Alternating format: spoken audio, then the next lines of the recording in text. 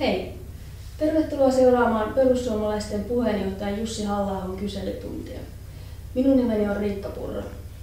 Olen viikon ajan kerännyt meidän somekanavissa ja sähköpostiini kysymyksiä teiltä.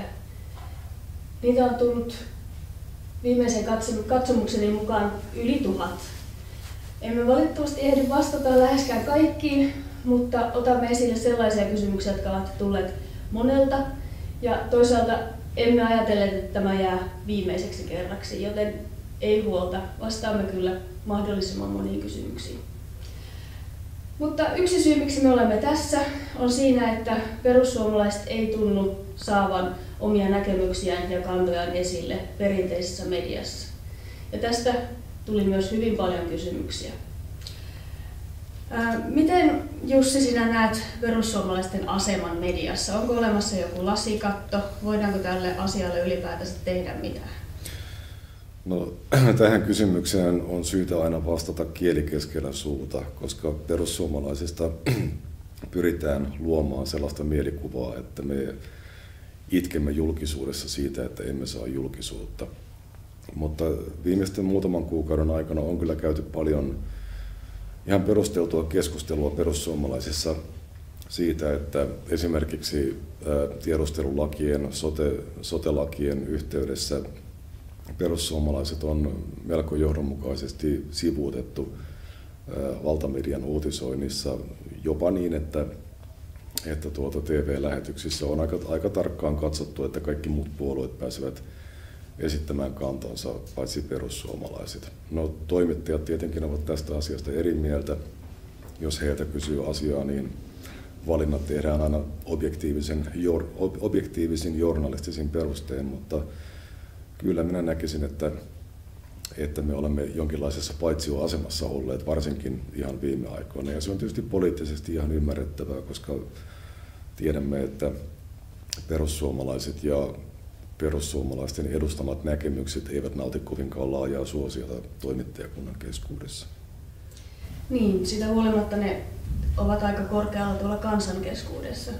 Eli liittyykö tähän ehkä jotakin sellaista pelkoa, että media on oppinut nyt tai seuraa kansainvälisiä kokemuksia, eikä aio antaa saman tapahtua Suomessa, mikä tapahtuu monissa muissa maissa? Euroopassahan on tosiaan tapahtunut hyvin paljon monessakin suhteessa, varsinkin vuoden 2015 tapahtumien eli siirtolaiskriisin kärjistymisen jälkeen. On tapahtunut poliittisia muutoksia, niin sanotusti kansallismieliset puolueet ovat monissa maissa kasvattaneet suosiotaan, jopa nousseet hallituksiin. Ja toisaalta, mikä on ehkä merkittävämpää, perinteisessä valtapuolueessa, keskusta vasemmistolaisissa ja keskusta oikeistolaisissa on tapahtunut huomattava suunnanmuutos. Esimerkiksi naapurimaassamme Ruotsissa liittyen juuri maahanmuuttokysymyksiin. Ja niin kuin sanoin, tietynlaiset ajattelutavat ja arvomaailmat ovat, ovat aika dominoivia toimittajakunnassa ja siellä tietenkään ei haluta, että kehitys menisi Suomessa samaan suuntaan. Tällä hetkellä Suomi alkaa olla monessa mielessä, voisi sanoa jopa kummajainen Länsi-Euroopan maiden joukossa. Mm. Kirjoitit itse muutama päivä sitten Facebookissa, että, että suomalainen poliittinen journalismi on rappiossa. Mm. Liittyykö se juuri tähän? No se liittyy varmaan suomalaisen yhteiskunnan hyvin pitkään konsensusperinteeseen. Toki tällainen keskusta-oikeiston ja keskusta-vasemmiston yhteen sulautuminen on tapahtunut kaikkialla Länsi-Euroopassa, koska yhteiskunnallinen kehitys oli toisen maailmansodan jälkeen vuosikymmenten ajan sellaista, että sellaiset suuret ideologiset jakolinjat, jotka olivat vielä sata vuotta sitten todellisia, niin ne ovat kadonneet pikkuhiljaa. Ja toisaalta vaikka, vaikka maahanmuutto ja sen ongelmat olivat olemassa Länsi-Euroopassa viimeistään 70-luvulta lähtien, niin kehitys oli vähän sellaista sammakon kehittämistä vedessä, että se kehitys oli asteittaista ja hyvin hidasta ja siihen oli mahdollista olla kiinnittämättä huomiota ja puuttumatta, kunnes se sitten pääsi kärjistymään siihen pisteeseen, mihin se nyt on kärjistynyt viime vuosina. Jos katsotaan suomalaista mediaa vielä maahanmuuttoteeman myötä, niin jos muistellaan 10-15 vuoden taakse, kun maahanmuutosta ei suomalaisessa mediassa ollut oikeastaan yhtään mitään lukuun ottamatta erilaisia monikulttuurismia ylistäviä reportaaseja tai muuta. Mutta nyt tänä päivänäkään keskustellaanko mediassa maahanmuuton ongelmista niin kuin me toivoisimme, että niistä keskustellaan. No onko mikään oikeasti muuttunut? No kun me itse olemme aikalaisia ja olemme seuranneet tätä kehitystä vuosien ajan, niin meillä on tietysti, tai meillä, meillä jää helposti näkemättä ne muutokset, joita on tapahtunut. Jos haluaa nähdä muutoksen, niin pitää saada perspektiiviä, pitää katsoa, mitä nyt tapahtuu ja verrata se siihen, mitä tapahtui silloin 10 tai 15 vuotta sitten. Ja kyllä se keskustelu varmaan on, on muuttunut. Se on, ollaan, ollaan vähitellen päästy ainakin suurimmaksi osaksi pois siitä, mihin itsekin viittasit kysymyksessä, sellaisesta täysin puusilmäisestä hymistelystä, jota harrastettiin vielä viime vuosikymmenellä tai 90-luvulla. Mutta tuntuu, että perussuomalaisten perussuomalaisten vaalivoit, vaalivoittoa vuonna 2011 ja 2015 ei oikein ole vieläkään annettu mediassa anteeksi. Se oli niin suuri järkytys. Ja poliittinen journalismi myös maahanmuuttoon liittyvissä aiheissa on sen jälkeen ollut pitkälti sellaista persun torjuntaa, voisi sanoa, mikä on niin kuin vienyt huomiota pois niistä itse substanssikysymyksistä. Minusta Ruotsi on tässä mielenkiintoinen verrokki. Siellähän tilanne on ollut sekä itse maahanmuuttokysymyksen että, että keskustelu ilmapiirin suhteen paljon pahempi kuin Suomessa hyvin pitkään, mutta siellä tapahtui hyvin voimakas muutos mediassa vuonna 2015. Siellä puhutaan tällä hetkellä asioista, joista olisi voinut kuvitellakaan puhuttavan vielä neljä tai viisi vuotta sitten. Meillä tällaista ei oikein ole tapahtunut. Että ilmeisesti, ilmeisesti tilanne ei yksinkertaisesti ole, ole riittävän huono, että siitä olisi pakko ruveta puhumaan. Ja toisaalta, toisaalta näiden ongelmien esiin nostaminen journalismissa voitaisiin tulkita jonkinlaiseksi perussuomalaisten esittämien näkemysten legitimoimiseksi, ja sitä ei missään nimessä haluta tehdä. Eli joku voisi ehkä, ehkä sanoa, että perussuomalaiset pelkällä olemassaolollaan tekevät asiallisen maahanmuuttojournalismin tällä hetkellä hyvin vaikeaksi. Niin, ja toisaalta viime kesän tapahtumat sitten antoivat medialle ihan uudenlaista sytykettä, eli keskittyä täysin perussuomalaisten sisäisiin tai mm. puolueesta pois loikanneiden asioihin. Sitten hieman kansainvälistä suhteista tai diplomatiasta ja EUsta. Venäjän pakotteista ja diplomaatin karkottamista tullut useita kysymyksiä. Ähm, jos ensin Venäjän pakotteista. Voimme olla kai sitä mieltä, että Venäjä ei vapaaehtoisesti luovu Krimistä ja ainakaan Putinin aikana. Miten sinun mielestäsi asia pitäisi hoitaa? Pysyvätkö pakotteet voimassa hamaan tulevaisuuteen ja kuka tästä tilanteesta hyötyy? Nämä ovat erittäin hyviä kysymyksiä. Siitä ei vallitse minkäänlaista epäselvyyttä, että Venäjä on rikkonut räikeästi kansainvälistä lakia miehittämällä Krimin ja tukemalla Itä-Ukrainassa toimivia terroristiryhmiä. Jotkut ovat nostaneet esille sellaisia näkemyksiä, että, että krimiläisillä on itse oikeus päättää, mihin valtioon he kuuluvat, mutta täytyy nyt kuitenkin muistaa se, että siellä järjestetty kansanäänestys pidettiin miehitysoloissa. Eli sitä voidaan hyvin verrata Viron niin sanotusti vapaaehtoiseen päätökseen liittyen Neuvostoliittoon vuonna 1940. Mutta se, että miten tästä tilanteesta päästään eteenpäin, Venäjän tapa toimia on hyvin erilainen kuin mihin Länsi-Euroopassa ja läntisessä diplomatiassa on toimittu. Venäjä on vähän omanlaisensa yhteiskunta ja siellä on omanlaisensa valtakulttuuri ja ajattelutavat. Jotkut sanovat, että tämä tilanne pitäisi laittomuuksista huolimatta hyväksyä, siis Krimin miehitys ja sota Itä-Ukrainassa, koska Venäjä ei kuitenkaan tule koskaan vetäytymään Krimiltä. No sitä en tiedä. Yllätyksiähän tapahtuu, tapahtuu maailmanpolitiikassa. En tiedä poistuuko Venäjä koskaan Krimiltä, mutta toi, ei siitä, siitä, että väär, vääryydelle ei voida tällä hetkellä tehdä mitään, ei voida johtaa sitä, että meidän pitäisi jotenkin hyväksyä se. Eli pakkohan tähän tilanteeseen on jollakin tavalla reagoida. Nyt nämä länsimaiden asettamat pakotteet Venäjälle ovat selvästi tehottomia ja osin toimivat jopa omia tarkoituksiaan vasta, vastaan. Ensinnäkin maataloustuotteiden maahantuonnin rajoittaminen on ainoastaan hyödyttänyt Venäjän omaa maataloutta ja omaa elintarviketuotantoa. Venäjästä on tulossa vähitellen hyvää vauhtia omavarainen maataloustuotannon ja ruoantuotannon suhteen, kun se on ollut tähän asti täysin riippuvainen ulkomaisesta tuonnista. Eli tästä pitkällä tähtäyksellä hyötyy Venäjä.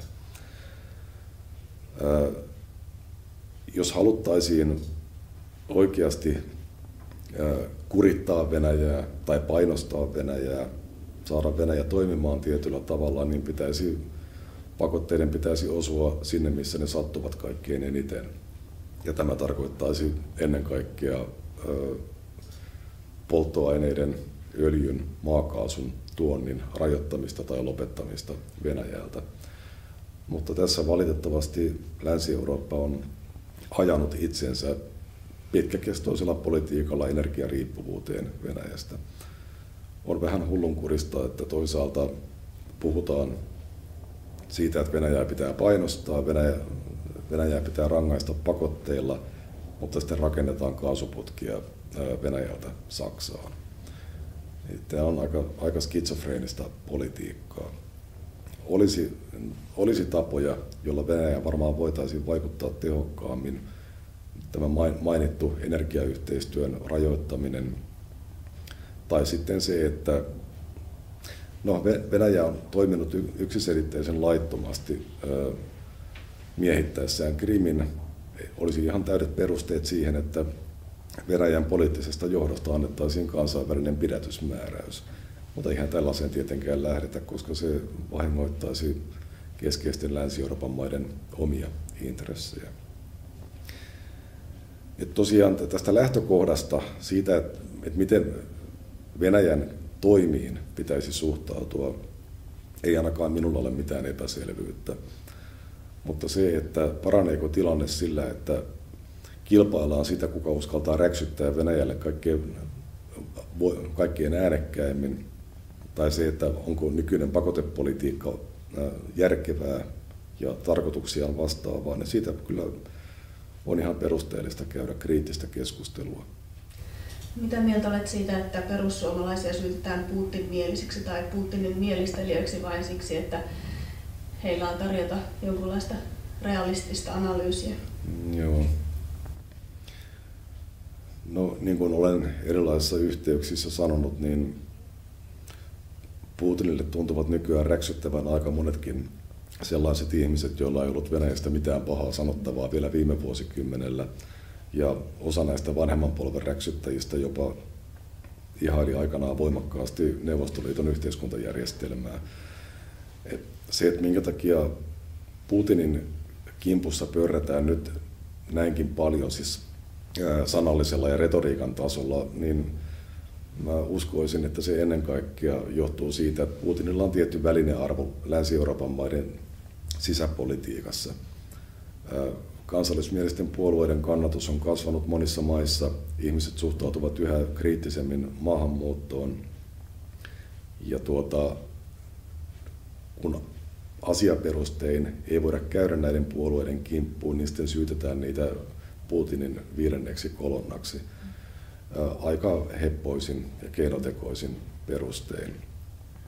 Esimerkiksi Ranskan kansallinen rintama, joka käsitykseni mukaan oli ottanut venäläisestä pankista lainaa, koska se ei mistään ranskalaisesta pankista sitä saanut. Ja tällä perusteella siitä tehtiin sitten Putinin sätkynukke siitä puolueesta. Et mä näkisin, että tämä liittyy ennen kaikkea Länsi-Euroopan maiden sisäiseen poliittiseen peliin. Ei niinkään siihen, että, että tuota, miten, miten valtavirta meillä oikeasti suhtautuu Venäjään. Euroopan parlamentin vaalit ovat myös ensi vuonna. Millaisena näet seuraavan kauden perussuomalaisten viiteryhmän parlamentissa ja millaisia yhteistyökumppaneita olette harkinneet, onko neuvotteluja jo käynnissä ja miten ECRlle käy Brexitin myötä? Joo. Tähän, kuten kaikkiin muihinkin kysymyksiin, se tekisi mieli ensin sanoa, että olipa hyvä kysymys. Nyt, tuota, vain hyviä kysymyksiä. Joo. Tuota, tällä kaudella tilanne ei kansainvälisen yhteistyön suhteen ole lainkaan ollut tyydyttävä. Sellaiset puolueet, jotka ovat monissa kysymyksissä meitä lähellä, ovat jakautuneet tällä hetkellä vähintään neljään, oikeastaan viiteen eri ryhmään. Meidän omaa ryhmäämme eli ECR on monissa puheenvuoroissa kutsuttu valtavirran oikeaksi laidaksi, eli me olemme tavallaan hyväksyttyjen ryhmien sisällä.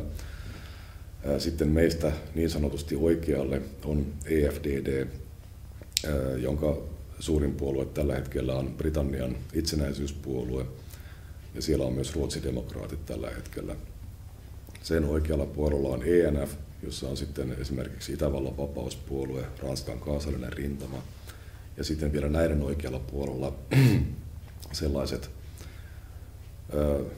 äärioikeistolaiset tai niin sanotusti äärioikeistolaiset puolueet, jotka eivät ole, joita ei ole hyväksytty mihinkään muihin ryhmiin, kuten Kreikan kultainen aamunkoitto ja näin edelleen.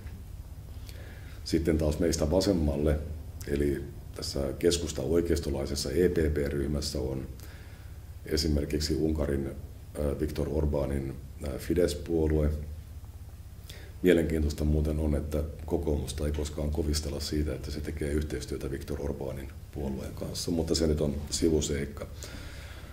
No, joka tapauksessa meidän kaltaisilla me puolueilla on kaikilla ollut pyrkyä, pyrkyä niin kuin vuoden 2014 vaalien jälkeen päästä niin kuin sanotaan mahdollisimman valtavirtaisiin ryhmiin, koska se parantaa meidän toimintaedellytyksiämme. Mitä hyväks, hyväksytympi ryhmä ja mitä suurempi ryhmä, niin sitä paremmat mahdollisuudet on saada asiallisia tai merkityksellisiä valiokuntapaikkoja, valiokuntien puheenjohtajuuksia tai varapuheenjohtajuuksia. Ja ylipäätään se, että, että muut ryhmät keskusteluissa ainakin kuuntelevat, mitä on sanottavaa. Ja sitten toisaalta, kun tämä poliittinen kehitys meidän ekologisessa lokerossamme ei ollut vuonna 2014 sillä tasolla, missä se on nyt, niin kansallismieliset puolueet myös pitivät mielellään hajurakoa toisiinsa ihan kotimaisen paineen vuoksi. Esimerkiksi meidän oli vaikea tehdä avointa yhteistyötä ruotsidemokraattien kanssa siksi, että ruotsidemokraatit oli huonossa maineessa omassa maassaan. Jollekin muulle brittien konservatiivipuolueelle taas oli tietyn kynnyksen takana tehdä yhteistyötä meidän kanssamme, koska meillä oli huono maine kotimaassamme. Ja tämä on aina kansainvälisen yhteistyön sisäänrakennettu ongelma ja ominaisuus, että kun assosioidut johonkin ulkomaiseen puolueeseen, niin muutut osasyylliseksi kaikkeen, mitä se puolue kotimaassaan tekee, vaikka sinulla ei ole tosiasiallisia mahdollisuuksia vaikuttaa siihen. No nyt tilanne on muuttunut merkittävästi lähinnä siirtolaiskriisin vuoksi ja myös sen takia, että me olemme tietysti, meidän kaltaisemme puolueet ovat kehittyneet. Me olemme tutustuneet toisiimme Euroopan parlamentissa paremmin ja niin edelleen. Ja oma toiveeni on, että nyt 2019 eurovaalien jälkeen, kun parlamentissa tapahtuu väistämättä suuria muutoksia ryhmissä brittien lähdön vuoksi, niin tätä tilannetta voitaisiin käyttää hyväksi niin, että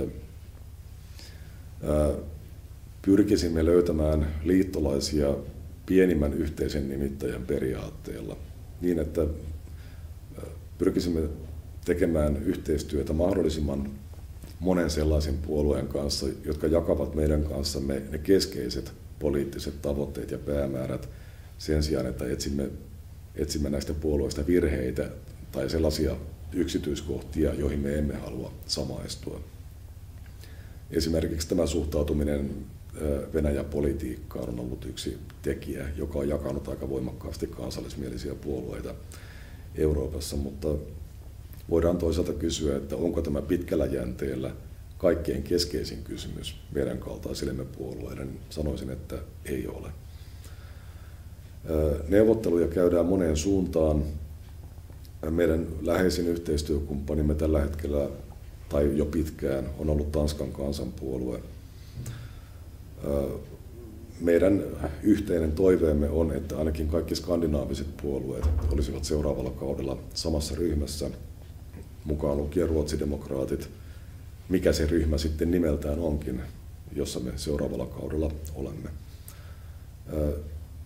Sitten on joukko muita puolueita, joiden ainakin itse koen olevan melko lähellä meitä teemojensa puolesta. Esimerkiksi Itävallan vapauspuolue, Saksan vaihtoehto Saksalle puolue ja eräitä muita, mutta, mutta nämä keskustelut ovat klisettä käyttääkseni herkässä vaiheessa ja toisaalta, toisaalta ei ehkä ole viisasta viisasta tässä vaiheessa sanoa julkisuuteen mitään kovin, kovin tuota lukkoon lyötyä, kun mitään ei ole lyöty lukkoon. Ja tällä hetkellä me olemme tällä kokoonpanolla ECR-ryhmässä. Ja tällä mennään nyt todennäköisesti tämän vaalikauden loppuun, mutta sitten pöytä on puhdas sen jälkeen ja, ja tuota, aiemmin mainitulla periaatteella pyrimme kokoamaan mahdollisimman suuren ryhmän itsellemme. Kiitos. Väliin tämmöinen kevyempi kysymys. Tuntuuko, että europarlamentaarikkona pystyy vaikuttamaan asioihin? No jos ihan, su- ihan suoraan ja rehellisesti sanotaan, ja miksipä ei sanottaisi, niin minun mielestäni europarlamentissa yksittäisen edustajan mahdollisuudet vaikuttaa asioihin ovat merkittävästi paremmat kuin yksittäisen kansanedustajan mahdollisuudet Suomen eduskunnassa. Tämä liittyy erilaiseen poliittiseen kulttuuriin, se liittyy siihen, että Euroopan parlamentissa ei ole hallitus-oppositioasetelmaa toisin kuin kansallisissa parlamenteissa tyypillisesti on.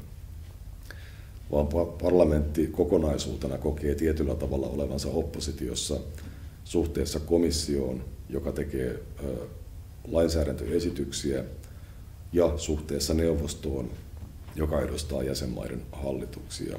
Eli se lähtöasetelma on jo täysin erilainen. Ja toinen keskeinen syy siihen, että miksi vaikutusmahdollisuudet ovat paremmat mielestäni, on se, että lainsäädäntötyö parlamentissa on paljon vähemmän virkamiesvetoista kuin se on Suomen eduskunnassa. Eli, eli edustajat konkreettisesti joutuvat itse laatimaan esimerkiksi valiokuntien mietinnöt ja lausunnot. Et hiukan kärjistäen Suomessa lainsäädäntövalta kuuluu valiokuntaneuvokselle, joka kirjoittaa mietintöluonnoksen ja valiokunta sitten hyväksyy sen mahdollisesti tietyin muutoksin. No tämä nyt on ehkä liian kärkevästi sanottu, mutta, mutta tosiaan työ on enemmän edustajavetoista ja toisaalta jäykkää vastakkainasettelua hallituspuolueiden ja oppositiopuolueiden välillä ei ole. Sitten tarkoitukseni oli kysellä EUn tulevaisuudesta, mutta koska olet niin perusteellinen vastaaja, niin hyppäänkin yli. Siirryn enemmän kansainvälisiin asioihin. Viime aikoina olet ottanut kantaa muun muassa Kiinan politiikkaan ja muihinkin suurvaltoihin. Mitä mieltä olet siitä, että monissa analyyseissa väitetään, että elämme uutta, uutta kylmää sotaa? No, mitä nimeä nyt sitten tilanteesta halutaan käyttää. Olemme selvästi siirtymässä vähän uudenlaiseen aikakauteen, joka osittain johtuu, osittain johtuu Venäjällä tapahtuneesta kehityksestä. Venäjä on ehkä perinteisemmässä mielessä sotilaallinen uhka, tai sanotaan turvallisuusuhka sisältäen sotilaallisen uhan ja ö, kyberuhat ja monia muita aspekteja. Mutta Kiinahan on no, hyvin johdonmukaisella politiikalla 90-luvulta lähtien noussut taloudelliseksi jättiläiseksi. Ja Kiinan valta perustuu siihen, että sillä on rahaa, sillä on valtava, valtava, siis on valtava epätasapaino Kiinasta tapahtuvan viennin ja Kiinaan tapahtuvan tuonnin välillä. Kiinalla on valtavat valuuttareservit, joille se etsii kannattavia sijoituskohteita. Kiina on ottanut hyvin erilaisen asenteen suhteessa kehitysmaihin kuin mitä Länsi-Eurooppa on tällaisessa valkoisen miehen taakassaan harrastanut vuosikymmenten ajan. Kiina investoi kehitysmaihin, samalla nämä maat ajautuvat enemmän tai vähemmän poliittiseen riippuvuussuhteeseen Kiinasta ja tämä tietenkin vahvistaa ja muuttaa perusteellisesti Kiinan roolia kansainvälisessä politiikassa. Sitten tähän investointipolitiikkaan, jota Kiina harjoittaa, niin siihen liittyy ihan konkreettisesti, konkreettisia strategisia ongelmia Länsi-Euroopan ja Yhdysvaltain kannalta. Että investointia tehdään varsin herkille aloille, esimerkiksi tietojen keräämiseen tai käsittelyyn liittyvillä sektoreilla, strategisille teollisuuden alueille ja näin edelleen. Kiinasta on tulossa maailman suurin kansantalous jossain vaiheessa, ja tämä on se, mihin Trump yrittää tietenkin omilla kauppapoliittisilla toimillaan reagoida, puolustaa Yhdysvaltain asemaa maailmassa. Kiitos. Sitten takaisin kotimaahan ja vähän sosiaaliturva- ja työttömyysasioihin. Hallituksella on käynnissä perustulokokeilu. Toisaalta esimerkiksi kokoomus on ehdottanut jo uudenlaista lähtö, lähtökohtaa sosiaaliturvauudistuksen tällaista Universal Credit-mallista mm. Britannian juttua. Mitä mieltä itse tai perussuomalaisten perustulokokeilusta ja minkälaista uudistuvaa sosiaaliturvauudistusta puolue kannattaa? No tästä perustulostahan siitä on käsittääkseni Suomen lisäksi Alankomaissa ainakin kokeilu. Ja, ja tuota, arvioiden mukaan sellainen perustulomalli, joka ei heikentäisi heikommassa asemassa olevien ihmisten asemaa, tulisi niin kalliiksi, että millään yhteiskunnalla ei ole siihen varaa. Sosiaaliturvassa ylipäätään on se sisäänrakennettu ongelma, josta aika harvoin puhutaan, ja se onkin kohtuullisen herkkä aihe. Jos ajatellaan menneenä aikoina tai kautta koko ihmiskunnan historian, ihmiset ovat käyneet töissä saadakseen itselleen ruokaa ja asunnon. Mutta jossain vaiheessa ruoasta ja asunnosta on tullut perusoikeuksia, jotka kuuluvat kaikille. Tämä on ihan ymmärrettävä ajatus. On paljon mukavampaa elää yhteiskunnassa, jossa kaikilla ainakin periaatteessa on asunto ja ruokaa. Mutta sosiaaliturva on siis itsessään epäkannuste, antikannuste mennä töihin. Totta kai suurin osa ihmisistä haluaa tehdä töitä, suurin osa ihmisistä ei halua olla jouten, mutta kun puhutaan kannustavasta sosiaaliturvasta, niin on todella vaikeaa löytää sellaista balanssia, jossa sosiaaliturva takaisi sellaisen elintason, jota me pidämme perusoikeutena tänä päivänä, ja samaan aikaan kannustaisi ihmisiä menemään töihin. Tämä on tulenarka aihe, mutta kyllä se minun mielestäni pitää kuitenkin pystyä, pystyä myöntämään ja sanomaan ääneen. Perustulossa on se hyvä ajatus, että tukijärjestelmää pitäisi yksinkertaistaa niin, että tai siksi, että kun on useita erilaisia tukimuotoja ja ihmisen toimeentulo muodostuu pieninä puroina erilaisista lähteistä tulevista tuista ja tulonsiirroista, niin tämä hyödyttää niitä ihmisiä, jotka tuntevat järjestelmän tai jota kädestä pitäen talutetaan hyödyntämään sitä. Ää, mutta ihminen, joka ei tunne omia oikeuksiaan, ei tunne kaikkia, kaikkea, ei tunne tätä järjestelmää, niin niin hän on epätasa-arvoisessa asemassa niihin ihmisiin nähden, jotka tuntevat. Ja tämä, tämä, näin asian ei tietenkään pitäisi olla. Ää, mutta se, että no siis perustuloon sellaisessa laajuudessa kun mitä sitä nyt kokeillaan, mitä on kokeiltu, niin ei yhteiskunnalla ole siihen varaa. Mm. Et kyllä minun mielestäni sosiaaliturvapolitiikassa pitäisi kuitenkin lähteä siitä, että parasta sosiaaliturvaa on se, että ihmisillä on töitä ja he eivät tarvitse tulonsiirtoja. Ja kun sosiaaliturvajärjestelmää katetaan verorahoilla tai julkisen, julkisilla varoilla, ja julkista rahaa saadaan verottamalla työtä ja yrittämistä, niin siitä muodostuu helposti semmoinen noidankehä, jossa joudutaan tekemään työllistämisen ja työllistymisen edellytykset aina vain heikommiksi, jotta voidaan ylläpitää ihmisiä, joilla ei tämän takia ole työtä.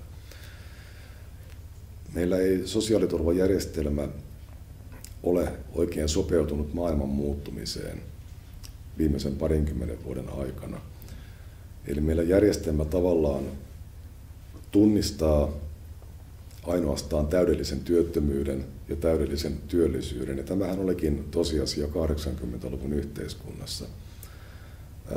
Suurimmalla osalla, sanotaan kaikilla kynnellä, kynnelle kykenevillä, oli työpaikka ja niillä ne, joilla ei ollut työpaikkaa, olivat niin sanotusti toivottomia tapauksia, ja heidän osaltaan oli tietenkin paljon selkeämpää ja helpompaa se, että, että heillä on sitten kattava, kattava sosiaaliturva, joka huolehtii heistä, mutta se ei tässä maailmassa enää ole mahdollista, kun työmarkkinat ovat muuttuneet pirstaleisemmiksi ja työttömissä on paljon sellaisia ihmisiä, jotka ovat täysin työkykyisiä.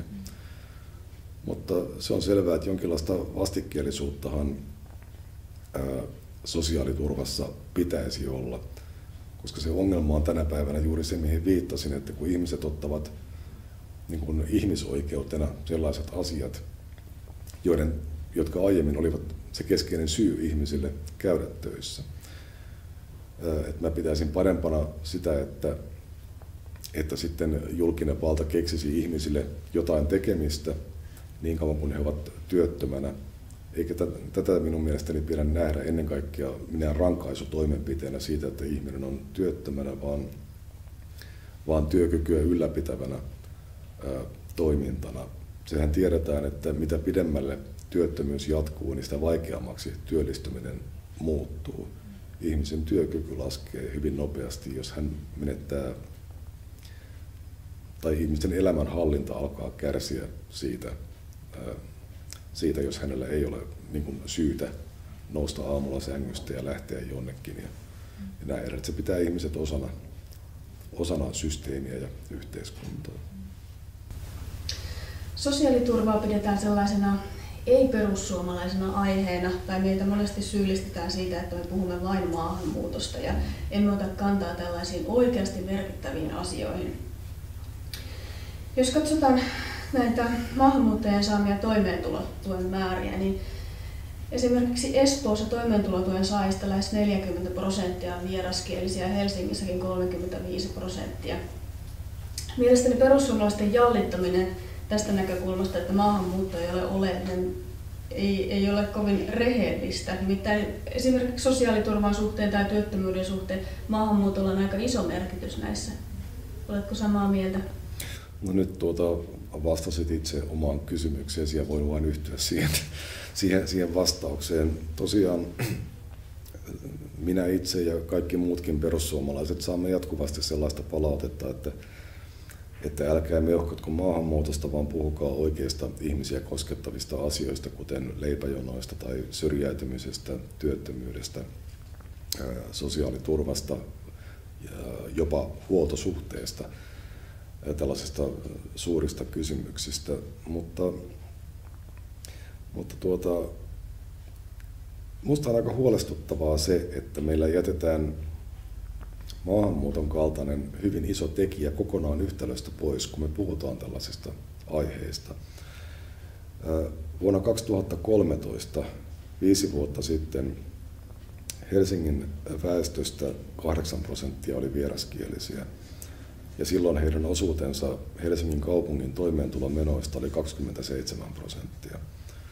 Ja nyt tällä hetkellä heitä on 13,5 prosenttia ja osuus toimeentulotukiasiakkaista on, kuten sanoit, 35 prosenttia tai sitä luokkaa. Ja nyt oletetaan, että, että maahanmuuttajien osuus Helsingin väestöstä kasvaa 20 prosenttiin lähitulevaisuudessa, niin kuin se tekeekin. Tämä vauhti on aivan hurjaa. Niin tuota, jos muualta tulleet ihmiset ää, muodostavat, niin kuin he väistämättä kohta muodostavat, puolet toimeentulotukiasiakkaista tai heille ohjautuu puolet tai enemmän toimeentulotukeen käytettävissä olevista resursseista, niin miten kukaan voi sanoa, että tämä ei liity ihmisten toimeentuloon tai syrjäytymiseen tai vähäosaisten auttamiseen. Et silloin kun, no tässä taas palataan siihen, että nykyään perusoikeuksilla tarkoitetaan asioita, jotka tuotetaan julkisella rahalla, kuten perustoimeentulo. Ja tämä on ihan hyvä. Minä hyväksyn tämän lähtökohdan, mutta silloin pitää ymmärtää myös se, että, että silloin asiakaskunta ei voi olla rajaton, koska sitä verotuspohjaa ei kuitenkaan loputtomasti ole. Suomella on jo tällä hetkellä haasteita oman väestökehityksensä kanssa, kuten melkein kaikilla länsimailla on. Meillä viime vuonna syntyi pienin ikäluokka nälkävuosien jälkeen, eikä ole nähtävissä, että tämä kehitys tästä mihinkään muuttuisi. Jos meillä on yhä vähemmän ihmisiä, jotka kontribuoivat julkiseen kassaan, niin jos me samaan aikaan asiakaskunta kasvaa kaiken aikaa, paitsi omalla, vaan omilla työelämästä poistuvilla ikäluokilla, niin myös sellaisilla maahanmuuttajilla, jotka asettuvat heti tänne tultuaan tukien saajiksi ja hyvin todennäköisesti pysyvät siinä jonossa vuosikymmeniä tai jopa koko loppuikänsä. Niin tällä on aika dramaattiset vaikutukset siihen, miten Suomi pystyy pitämään huolta omista vähäosaisistaan tai työttömistään tai vanhuksistaan. Niin, nyt tuntuu, että tästä taloudellisesta aspektista jonkin verran voidaan käydä keskustelua, mutta esimerkiksi sellainen yhtään moraalisempi lähtökohta siihen, että, että onko tämä toisilta pois tai saisiko suomalainen vanhus kokea epäoikeudenmukaisuuden tunteita, kun esimerkiksi laittomat maassa olijat saavat yhä enemmän palveluita, niin tämähän on täysi tabu. Tällaista ei saa käsitellä lainkaan. Meidät tehdään lähinnä naurunalaisiksi, kun Joo. otamme tällaisia se, esiin. Se on ihan totta, että, että taloudellinen lähesty, julkiseen talouteen liittyvä lähestymistapa on ehkä se kaikkein hyväksytyin tässä keskustelussa ja se on ehkä myös kaikkein helpoin tapa lähestyä maahanmuuton ongelmia, koska, koska numeroista ei voi kuitenkaan loputtoman paljon saivarella eikä, eikä riidellä. Mutta se, mitä itse kuulee tilaisuuksissa kaikkein eniten nimenomaan vanhemmilta ikäluokilta, ei liity niinkään siihen, että, että he pohtisivat sitä, onko maahanmuuttoon käytetty raha juuri heiltä henkilökohtaisesti pois, vaan sellainen loukattu oikeudentunto siitä, että kun he ovat koko ikänsä tehneet töitä saavat todennäköisesti siitä kiitokseksi hyvin pientä eläkettä. Ja sitten tänne tulee kultaiset kaulaketjut kilisten nuoria miehiä kännykkä kädessä esittämään kaikenlaisia vaatimuksia. Niin se koetaan röyhkeänä ja vääränä. Ja sitähän se onkin. Mutta, mutta tällainen moraalinen lähestymistapa, se, että tämä ei, vaan, tämä ei yksinkertaisesti ole oikein, että näin tapahtuu, niin se on melkoinen tabu.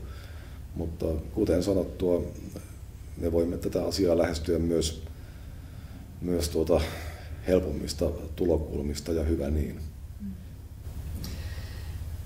Maahanmuutto, tai hallituksen maahanmuuttolinjauksia vastustavat tahot, eli lähinnä vasemmisto ja vihreät, ovat sitä mieltä, että hallitus noudattaa tällä hetkellä halla maahanmuuttopolitiikkaa. Mm. Itse olen vähän tahtonut miettiä niin, että jos näin olisi, niin voisin lähteä kotiin. Mitä, millaista olisi halla maahanmuuttopolitiikka, jos sinä saisit päättää? No, meillä oli viime eduskuntavaalien alla mielestäni ihan hyvä maahanmuuttopoliittinen ohjelma. Ei se nyt ihan suoranaisesti minun kirjoittamani ollut, vaikka toki olin, se, olin mukana sitä laatimassa. Ja hallituksenkin ohjelmassa ja maahanmuuttopoliittisessa ää, toimenpideohjelmassa, joka julkaistiin myöhemmin, on paljon hyviä elementtejä. Mutta viime kesän hallituskriisi osoitti sen, että hallituskumppaneilla ei ollut alun perinkään aikomusta noudattaa sitä, mitä oli sovittu hallitusneuvotteluissa. Eikä toisaalta perussuomalaisten silloinen johto pitänyt tätä niin tärkeänä asiana, että, että sen vuoksi oltaisiin alettu, mm, tai että oltaisiin vaadittu aggressiivisemmin sitä, että koalitiohallituksessa myös perussuomalaisille keskeisiä yhteisesti sovittuja asioita pitää noudattaa. Ennen kaikkeahan tässä on kyse siitä, että minkälaisia maahanmuuttajia Suomi houkuttelee ja siitä, että turvapaikkajärjestelmää käytetään siirtolaisuuden kanavana, johon sitä ei ole tarkoitettu. Se, että minkälaista on hyvä maahanmuuttopolitiikka, se tietysti koostuu monesta eri palikasta. Se, että mitä EU:ssa tehdään, se on aivan keskeisellä sijalla, mutta toisaalta myös se, mitä Suomi kansallisesti tekee. Vuonna 2015 Suomeen käveli koko Euroopan läpi yli 30 000 ihmistä Välimereltä jättämään turvapaikkahakemuksen Suomeen. Ja kyllähän se kertoo siitä, että Suomella on silloin epäterveitä houkutustekijöitä. Toki siihen vaikutti se, että pääministeri suorastaan kutsui ihmiset lupaamalla näille oman talonsa ja tämä tietysti levisi samana päivänä arabiankieliseen mediaan. Ja Belgiasta tuli 9000 irakilaista Suomeen hakemaan turvapaikkaa. Mutta kyllä se liittyy myös tietysti siihen, että mitä Suomessa jo asuvat ihmiset kertovat paikallisista oloista ja heidän eduista, joita Suomi tarjoaa omille maanmiehilleen vanhassa kotimaassaan. Tämä liittyy sosiaaliturvaan, se liittyy perheen yhdistämisen helppouteen, oleskelulupien myöntämisperiaatteisiin ja moneen muuhun yksityiskohtaan.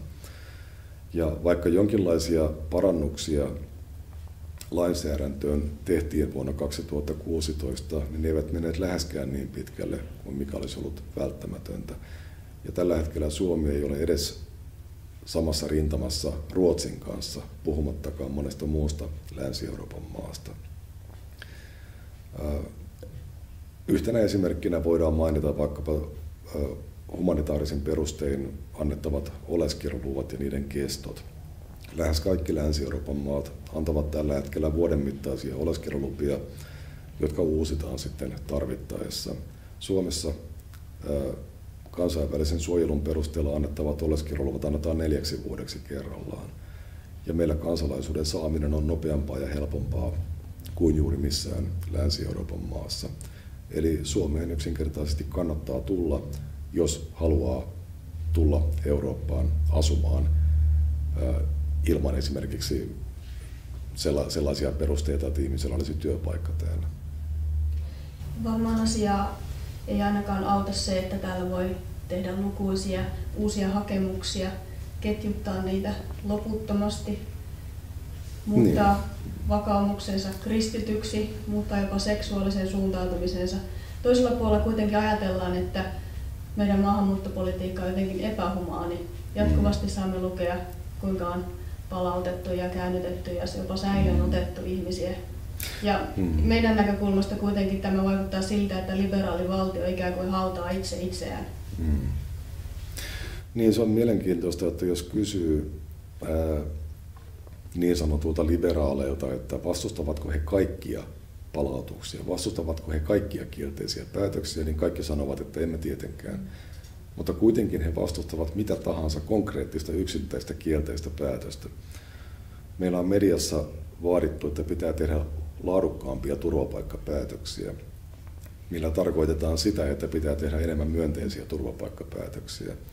Että jollain omituisella logiikalla myönteinen päätös on aina laadukas ja kielteinen päätös on aina väärä.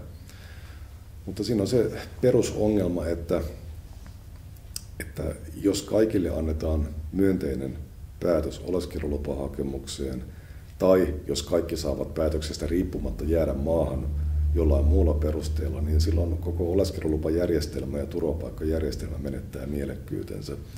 Miksi tutkia hakemuksia, jos tutkinnan tulos ei vaikuta millään tavalla siihen, jääkö ihminen tänne vai ei. Suomen ulkomaalaispolitiikka nimenomaan ei-työperäisen maahanmuuton osalta on monessa suhteessa liberaalinta Länsi-Euroopassa tällä hetkellä. Suomi on valitettavan houkutteleva kohde edelleen. Toisin kuin monessa muussa Länsi-Euroopan maassa, meillä turvapaikkahakemusten määrä ei ole laskenut kriisiä edeltävälle tasolle. Ja nyt valitettavasti on käynyt niin, että kun ollaan tultu alaspäin vuoden 2015 huippulukemista, niin sellainen kriisitunnelma on väistynyt. Ja nyt tapahtuu vähän niin kuin sille entiselle miehelle, joka lopettaa katon korjaamisen heti kun sade loppuu. Kun nimenomaan lainsäädännöllä pitäisi varautua vastaaviin tuleviin tapahtumiin. Eli nyt on se riski, että ne tarvittavat korjausliikkeet jäävät tekemättä, jolloin me olemme uudestaan siinä tilanteessa seuraavan aallon saapuessa, että meillä ei ole riittävää lainsäädäntöpohjaa reagoida tapahtumiin.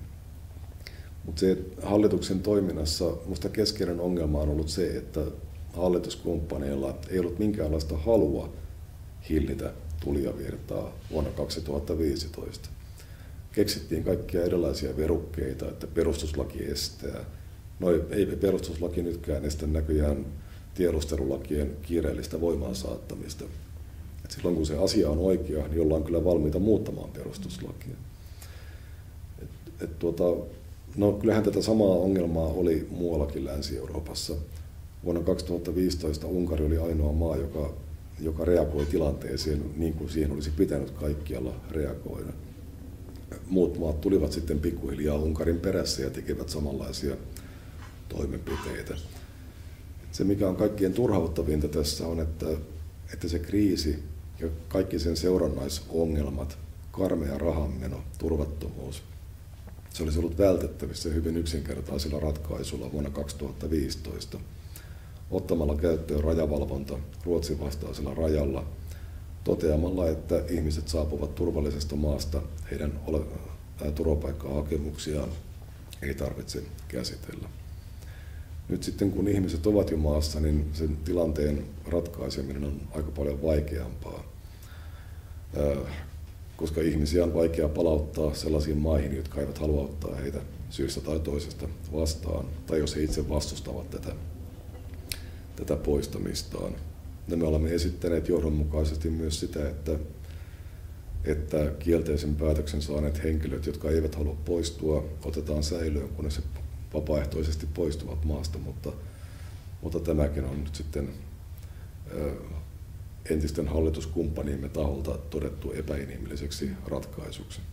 Se kuitenkaan monissa muissa maissa ei, mm. asiaa ei nähdä samoin. Toisaalta säilöönotto sen lisäksi, että se lisäisi turvallisuutta ja helpottaisi palauttamista, niin on tietysti itsessään houkutustekijän vähentämistä, mm. kuten muun muassa Tanskan kohdalla on käynyt. No tästä pääsemme sitten laittomiin maassaolijoihin, joista paljon puhutaan. Perussuomalaiset ei siis käytä termiä paperittomat, koska kyseessä eivät ole paperittomat ihmiset, vaan laittomat maassaolijat. Öm, oma kaupunkisi Helsinki on vasta laajentanut laittomien maassaolijoiden saamia palveluita. Se ei kuulemma maksa juuri mitään eikä ole keneltäkään pois. Miten näet, miksi, miksi Suomen valtio, kaupungit tahallaan haluavat laajentaa laittomuutta? Niin, varmaan samasta syystä kuin minkä takia suurin osa poli- meidän poliittisista puolueistamme haluaa tehdä, haluaa harjoittaa maahanmuuttopolitiikkaa, joka on yksiselitteisen vahingollista Suomelle. Halutaan olla hyviä ihmisiä, halutaan moraaliposeerata, halutaan selkeän taputuksia muilta samanmielisiltä. Se, että No kaikki, kyllä varmaan siitä vallitsee yksimielisyys, että, että ää, akuuttia hoitoa on tarjottava ihmisille, jotka sitä tarvitsevat. Ei varmaan kukaan halua nähdä sellaista Helsinkiä, jossa ihmiset jätetään kuolemaan jonnekin katuojaan. Mutta se on kuitenkin aivan eri asia kuin se, että tarjotaan, tarjotaan hoitoa esimerkiksi pitkäaikais, kroonisiin pitkäaikaissairauksiin, tuberkuloosiin, HIV, Nämä hoidot ovat erittäin kalliita. Ja jos tätä asiaa ajattelee, ajattelee niin omasta näkökulmastaan, niin jos minä asuisin köyhässä maassa, sairastaisin tällaisia tauteja ja tietäisin, että jossain on maa, joka tarjoaa näitä hoitoja ilmaiseksi, jonne voi vaan marssia sisään ja ilmoittautua hoitoon, niin kyllä mä uskon, että se olisi omastakin mielestäni melko houkutteleva tarjous. Ja tuota, tässä ei ole kysymys pelkästään kehitysmaista tulevasta muutosta, vaan myös siitä, että myös muualla Euroopassa jo olevista laittomista siirtolaisista tämä luo sellaisen Euroopan sisäisen houkutustekijän näiden ihmisten näkökulmasta. Ja toisaalta meillä on, meillä on tuota rajanaapurina Venäjä, jossa on esimerkiksi HIV ja tuberkuloosi ovat, ovat tuota hyvin laajalle levinneitä sairauksia. Että, että se, että ehdoin tahdoin sahataan omaa oksaa ja kaivetaan omaa kuoppaa syvemmäksi, samalla kun ihmetellään sitä, että miten meillä on varaa nykyisellä väestökehityksellä ylläpitää palveluitamme, niin se on todella kummallista politiikkaa ja ei sitä voi millään, millään tuota, ei sitä voi järjellä selittää. Mm. No, perussuomalaisten aloittamassa tähän aiheeseen liittyen juuri kampanjaa, jossa käsittelemme muun muassa laittomien aiheuttamia turvallisuusongelmia ja terveyspalveluiden hintaa, kustannuksia, jotka koituvat teille kaikille. Mikäli et näitä tietoja löydä valtamediasta, niin kannattaa seurata meidän omia kanavia, niin tiedät asioita, joita muuten et tietäisi. Ähm, paljon on kysymyksiä tullut siitä, että kykenemmekö me vielä mahdollisesti välttämään Ruotsin tekemät kaikista graaveimmat ongelmat vai onko meidän tiemme sama? Miten me voimme ehkäistä no-go-alueita ja rinnakkaisyhteiskuntien syntymistä Suomeen? Vai onko tämä luisua kohti sitä? Niin, meillä monet viranomaiset ovat aina silloin, kun Ruotsin tapahtumat ylittävät uutiskynnyksen Suomessakin, niin kuin ne melko usein tekevät, viittaan esimerkiksi Malmöä riivanneisiin, jo vuosikymmenen ajan riivanneisiin tuhopolttoaaltoihin tai viime talviseen raiskausaaltoon tai henkirikoksiin, niin meillä viranomaiset yleensä hyvin rutiininomaisesti toteavat, että meillä tällaista ei ole. Ja tästä tehdään se omituinen johtopäätös, että me olemme onnistuneet kotouttamisessa paremmin. Kun tosiasiassa kyse on ainoastaan siitä, että meillä tulijoiden määrät ovat niin paljon pienemmät, että meillä ei voi olla tällaisia alueita. Meillä ei ole alueita, jossa kehitysmaalaiset olisivat enemmistönä, mutta tämä johtuu vain siitä, että meillä on paljon vähemmän kehitysmaista tulleita ihmisiä kuin Ruotsissa. Niin kuin Helsingin väestökehitys, johon äsken viittasin, osoittaa, niin, niin tuota, siihen me väistämättä olemme menossa. Ihmettelen sitäkin argumenttia aina, että kun kun niin kuin pyritään torjumaan pelkoja siitä, että meillä tapahtuu, meillä tapahtuu väestö, väestönvaihto, väestönmuutos, niin todetaan, että eihän nyt joku, että meillähän on maahanmuuttajia vain 6-7 prosenttia ehkä Suomen väestöstä. Mutta nämä ihmiset eivät koskaan sano, että mikä on se tavoitetaso. Jos tämä prosentti kasvaa kaiken aikaa, niin kuin se on Helsingissä kasvanut viidessä vuodessa 8 prosentista 13,5 prosenttiin, niin pysähtyykö se jossain vaiheessa? Todetaanko jossain vaiheessa, että nyt meillä on riittävästi huonosti integroituneita maahanmuuttajia, nyt me emme ota enää yhtään enempää. En, en usko, että näillä ihmisillä kuitenkaan sellaisia suunnitelmia on. Eivät ihmiset maailmasta lopu, ja niin kauan kuin Euroopalla on jotain tarjottavaa tulijoille, niin kyllä tämä säilyy houkuttelevana kohteena. Niin kyllä mä näkisin, että me olemme väistämättä menossa siihen, missä Ruotsi on tällä hetkellä. Ja Ruotsi on tietenkin menossa vielä sitten jonnekin ihan omiin sfääreihinsä. Maahanmuutossa oleellista ovat määrät.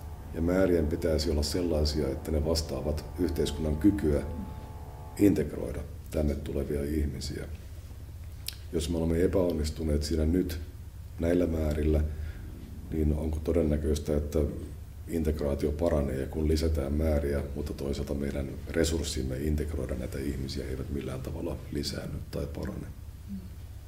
Toisaalta voi miettiä, että onko yliampuvaa puhua väestönvaihdoksesta, jos esimerkiksi melkein lähes joka viides syntyvä lapsi on vieraskielinen. Niin, tämä on aika pysäyttävä luku. Meillähän tosiaan viime vuonna syntyi vähemmän lapsia kuin kertaakaan 1800-luvun puolivälin jälkeen. Mutta se, mikä jäi ehkä vähän vähemmälle huomiolle näissä syntyvyysluvuissa, oli se, että joka viides Suomessa syntynyt lapsi syntyy muille kuin suomen tai ruotsinkielisille vanhemmille. Eli tavallaan, tavallaan niin kuin, no, maahanmuutosta ei tietenkään voida teknisesti puhua tilanteessa, jossa henkilö on syntynyt Suomessa, mutta, mutta toisen polven maahanmuuttajat muodostavat varsin suuren osan kotimaassa tapahtuvasta syntyvyydestä sen lisäksi, että ihmisiä tulee lisää ulkomailta. Ja, kun meillä on täysin segregoitunut yhteiskunta, mitä Suomikin tällä hetkellä jo on, eli että maahanmuuttajat elävät pitkälti omissa oloissaan ilman mitään varsinaista kontaktia valtavirtayhteiskuntaan tai kantasuomalaisiin, niin nämä lapset, jotka syntyvät näihin yhteisöihin, elävät tosiasiassa lähtömaan kulttuurin sisällä, tietynlaisessa kulttuurisessa kuplassa. Tämä on ollut totta jo pitkään monissa naapurimaissamme ja tämä on varmasti keskeinen syy, syy siihen, että integraatio ei sanottavasti parane edes toisessa sukupolvessa niiden ihmisten keskuudessa, jotka ovat syntyneet, syntyneet siinä kohdemaassa, eli meidän tapauksessamme Suomessa. Kyllä, ja monesti tässä jätetään vielä huomiota se, että koska segregaatio on niin voimakasta, niin se täällä Helsingin kantakaupungin alueella ei ehkä näyttäydy asian samalla tavalla kuin Itä-Helsingissä tai Espoon keskuksessa tai muualla, missä esimerkiksi päiväkodeissa saattaa olla 70 prosenttia maahanmuuttajia, jopa enemmän, niin se todellisuus siellä on hyvin eri, erilaista verrattuna tähän. Mm. Sitten suomalaisuus etnisyytenä.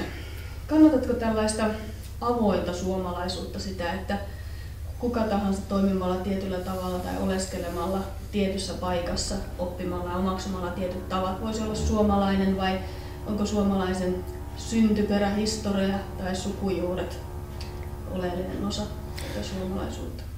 Tämäkin on todella hyvä kysymys. Tästähän on käyty nyt perussuomalaisten sisällä paljonkin linjakeskustelua, että miten suomalaisuus pitäisi määritellä. Ja toimittajat usein kysyvät meiltä, miten me määrittelemme suomalaisen, kuka on ja ei ole suomalainen.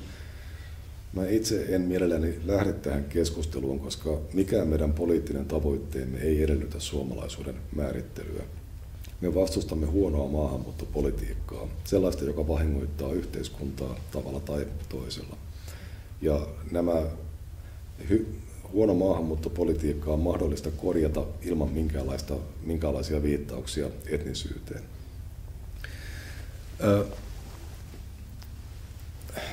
Suomalaisuus on tietenkin, kyllähän me olemme etnisyys.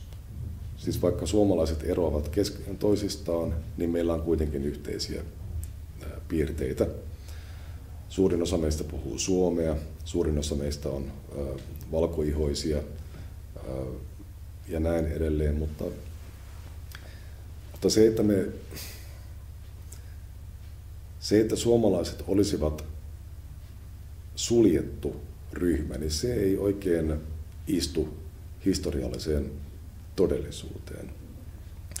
Suomalaiset, aivan niin kuin mikä tahansa kansa, ovat tulos vuosisatojen ja vuosituhansien sekoittumisesta ja ihmisten kohtaamisesta – ja nyt kysymys kuuluu, että ovatko jotkut historiassa tapahtuneet kohtaamiset ja sekoittumiset huonompia kuin jotkut toiset? Mihin me vedetään se raja, että milloin suomalaiset ovat tulleet valmiiksi?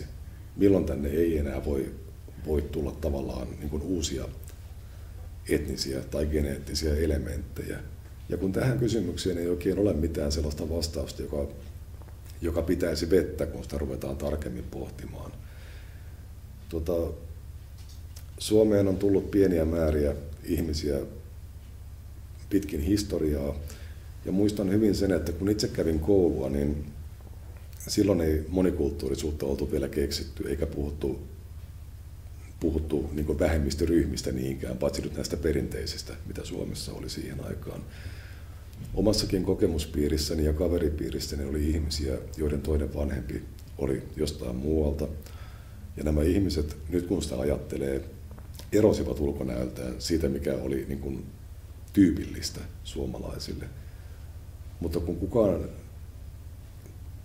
meillä oli niin vähän varsinaisia maahanmuuttajia, että ei tällaisiin asioihin kiinnitetty samalla tavalla huomiota kuin nykyään. Jos jonkun vanhempi oli Afrikasta tai Kreikasta tai Aasiasta, niin ei kukaan ajatellut, että heidän lapsensa edustaisivat jotain muuta kuin suomalaisuutta. Meillä oli valtavirta, siinä oli paljon vaihtelua, ihmiset olivat erinäköisiä, mutta ne nähtiin yksilöiden ominaisuuksina eikä jonkinlaisina ryhmätunnusmerkkeinä. Me ollaan valitettavasti menty hyvin toiseen, toiseen suuntaan, että nykyään me tahdotaan nähdä ihmiset ennen kaikkea omien ryhmiensä edustajina. Mutta tosiaan, jos palataan tähän, että voiko, miten suomalaisuus määritellään, niin tuota, ketkä kaikki me suljetaan sitten niin kuin kategorisesti pois, että mistä muuttanut ihminen tai hänen jälkeläisensä ei voi koskaan muuttua suomalaiseksi.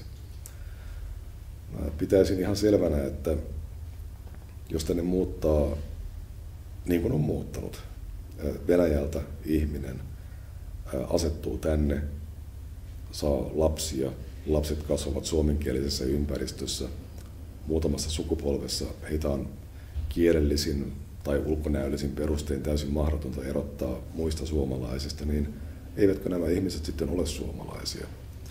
Ja jos he ovat, niin onko tilanne erilainen kuin jos se henkilö muuttaa Afrikasta tänne ja asettuu ja saa lapsia, ja tuota, jotka kasvavat suomenkielisessä ympäristössä. Et tämän takia mä en oikein pidä etnisestä määrittelystä, kun siinä ei voida olla johdonmukaisia, vaan se sanotaan, että sillä pyritään ehkä sulkemaan niin kuin juuri tietyt ää, ulkomailta tulleet ainekset pois suomalaisuuden tai sellaista niin kuin mahdollisesta suomalaisu- suomalaisuudesta. No, kielellisin perustein suomalaisuutta ei oikein voi määritellä, koska meillä nyt asuu ruotsinkielisiä Suomessa, saamenkielisiä, tatarinkielisiä, eikä kukaan varmaan kyseenalaista sitä, että nämä ihmiset oleellisilta osin ovat suomalaisia. Ehkä siinä mennään enemmän siihen, siihen että miten, miten ihminen itse kokee itsensä. Jos meillä asuu Suomessa henkilö, jolla on Suomen passi, ja hän esimerkiksi jatkuvasti esittää kriittisiä arvioita suomalaisista, mutta ei itse koe olevansa niiden kriittisten arvioiden niin kuin kohteiden joukossa, eli hän omasta mielestään edustaa jotain muuta porukkaa, niin en minä sellaista ihmistä pidä suomalaisena. Että kyllä su, suomalaisen pitää sitten tavallaan niin kuin jakaa se suomalaisuus hyvine ja huonoine puolineen muiden suomalaisten kanssa. Tämä on ehkä vähän, vähän tuota sekavasti ilmaistu tämä asia, mutta,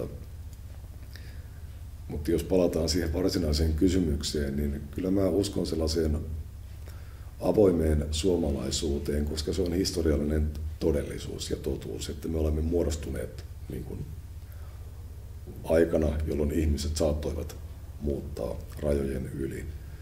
Et jos me suljemme tumman ihon esimerkiksi pois suomalaisuudesta, että ihoinen ei voi olla suomalainen, niin voidaan sitten kysyä, että entäs silmäiset, entäs tummatukkaiset.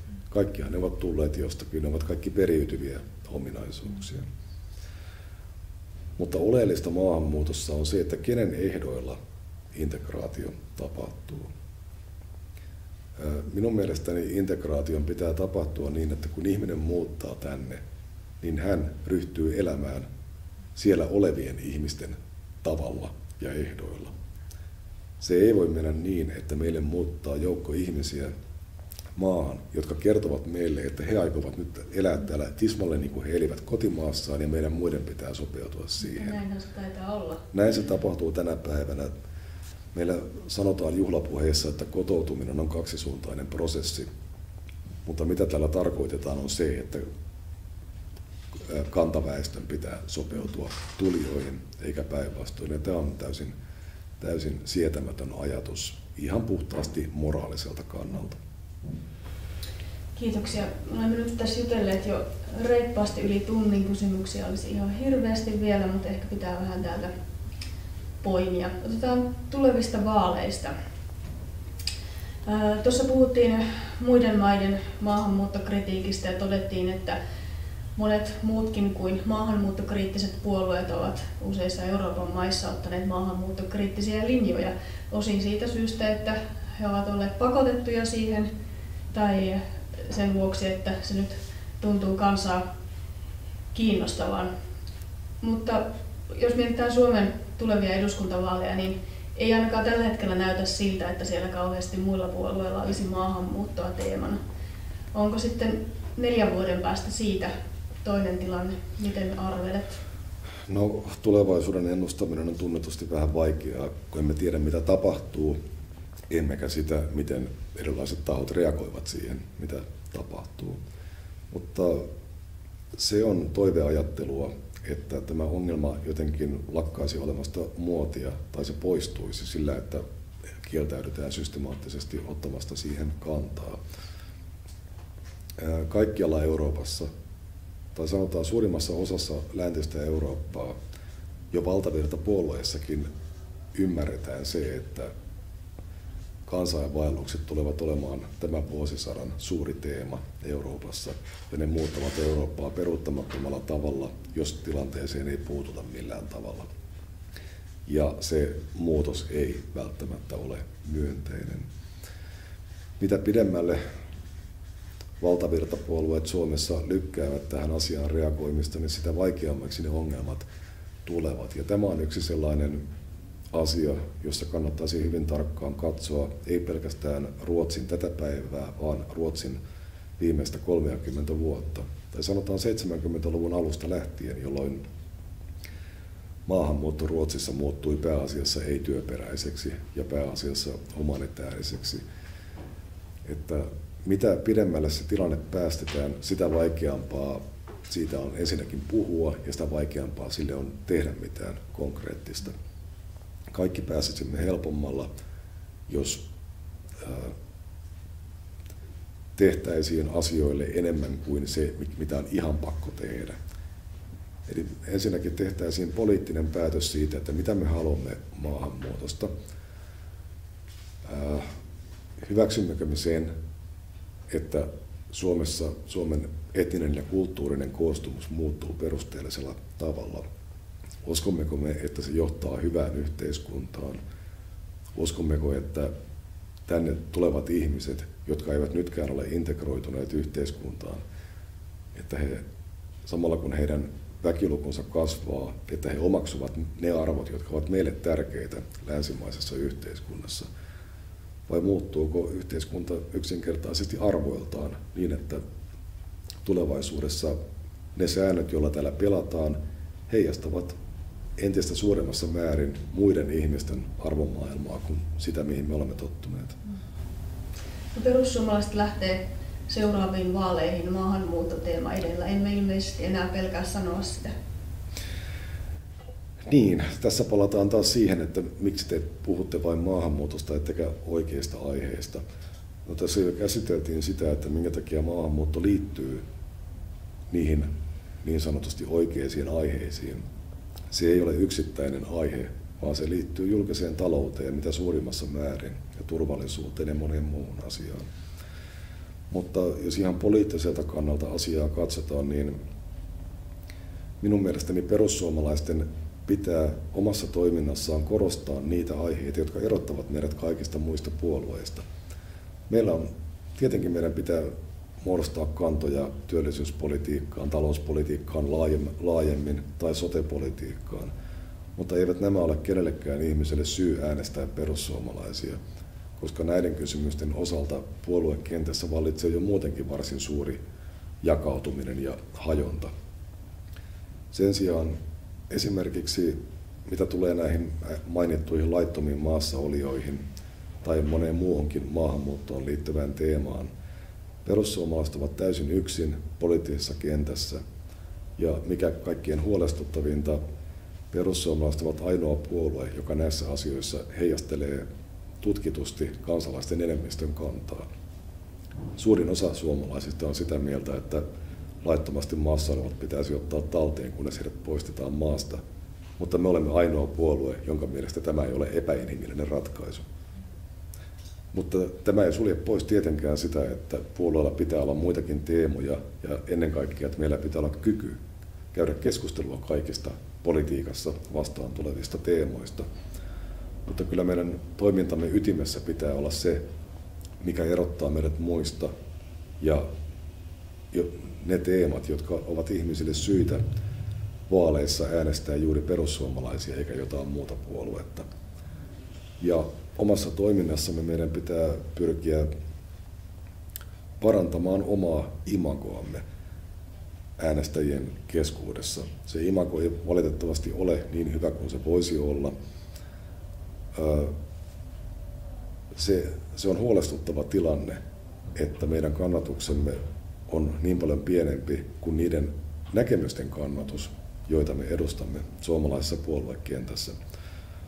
Mutta tähän voimme vaikuttaa vain omalla laadukkaalla ja johdonmukaisella työllä. Kiitoksia paljon tästä kyselytunnista. Kiitoksia. Meillä jäi hirvittävä määrä todella hyviä kysymyksiä vielä ensi kertaan ja seuraaville kerroille. Älkää huolestuko, jos omaa kysymystä ei esitetty tässä. Jussi oli tänään erityisen perusteellinen vastauksissaan. Ja hän ei ole nähnyt näitä kysymyksiä etukäteen, joten hän todella vastaa näihin aivan tässä tilanteessa. Mutta kiitoksia katselusta ja palataan aiheeseen. Hyvää kevättä. Moi moi. Hei.